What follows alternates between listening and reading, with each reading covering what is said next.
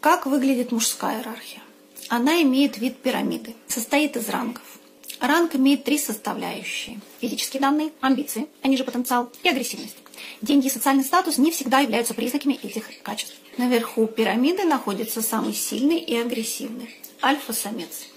Его признаки – высокая самооценка, невысокое мнение об окружающих, быстрое принятие решений, отсутствие сомнений, оптимизм, открытость, упрямство, отсутствие вины, амбиции, хорошие организаторские способности, устойчивость к негативу и конфликтам. Далее идут средние ранговые. Они потенциально могут стать высокоранговыми. Многим из них мешает нерешенный конфликт с отцом и стремление быть удобным для женщины. Среднерангового мужчину легко опознать по эффекту хамелеона. Со слабыми он ведет себя как сильный, с сильными как подчиненный. Его судьба и положение в обществе во многом зависят от женщины рядом. Одна может его сломать, другая поможет стать альфой. И низкоранговые мужчины. Они боятся жизни и женщин, поэтому с женщинами предпочитают дружить. У них нет амбиций, нет агрессии и нет мотивации. Низкая самооценка, пессимизм и рефлексия.